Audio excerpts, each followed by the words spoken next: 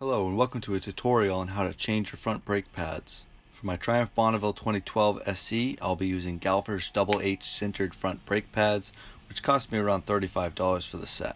For this maintenance, you will also need a 5mm Allen wrench, flathead screwdriver, socket wrench, and a toothbrush for cleaning the assembly. Um, and I also used a Loctite copper anti-seize stick to protect my screws from the high heat produced by the brake assembly. The first step in the process is to remove the brake assembly from the disc. You want to use a flathead screwdriver to remove a small screw that covers the Allen key pin that is holding the pads in place. I recommend removing the screw and loosening the pin before removing the assembly as you'll have more leverage to break them loose while it's still on the disc. After the pin has been loosened, you can remove the two bolts holding the assembly to the disc. Once the bolts are removed, you can use a back and forth rocking motion to pull the assembly off of the disc. Once the assembly is off, you can pull the pin out and remove the old brake pads. As you can see, mine still had some padding left, uh, but they were over 6 years old, so for me it was time to replace them. After removing the pads, be sure not to lose track of this removable metal piece. You will need to ensure that this is in place before installing the new pads, uh, but I recommend removing it, putting it aside to clean your assembly. While you have the pads out, I highly recommend scrubbing the brake dust off with dish soap and water. Ensure you clean the outer rings of the pistons, as excess brake dust can eventually cause pistons to become corroded or embedded, which is a much more expensive and complicated fix. You can squeeze on the brake lever once or twice to expose a larger section of the pistons for cleaning, uh, but don't squeeze it too many times as the pistons can pop out and leak brake fluid. If this happens, you'll have to bleed your brake system and put in new fluid.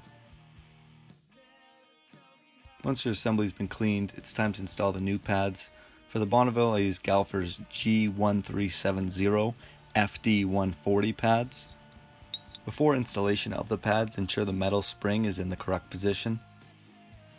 You may have to work back the pistons with your fingers or install one pad and then use it to press the pistons back to make more space for the second pad. Once both pads are in, you can reinsert the pin and apply some anti-seize copper to the thread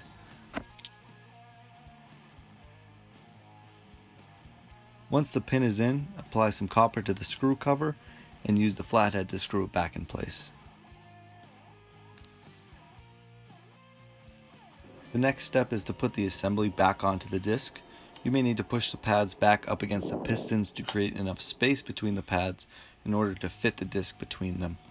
Once the assembly is back together, you can tighten the mounting bolts to 28 newton meters.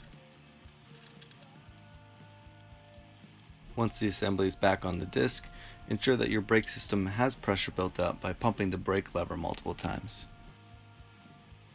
The final step is to break in your new pads, test them out in the driveway first to ensure that they are working correctly, then take them out to a neighborhood and take it up to 15 and back down to 0 a few times while applying gradual brake pressure. Then increase the top speed to 30 miles per hour back down to 0.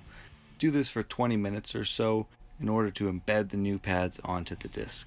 Ensuring your brake pads are embedded properly creates even contact between the pads and the disc, leading to more effective pads. This step also prevents squeaking and grinding noises when braking or driving at lower speeds.